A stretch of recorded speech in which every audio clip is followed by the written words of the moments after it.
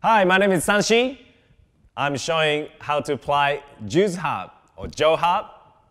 This little instrument, you can find it all through Europe to Asia. It's amazing little instrument. And as you hear, it has got a really unique twang twang sound. And you plug in the, uh, this little thing, and yeah, just you'll become the resonator and instrument. And there are many different shapes comes in, like this one, this big one, and also like some bamboo ones, and like uh, sometimes, a brassy one, yeah. Um, even then with the stringy ones. Cool.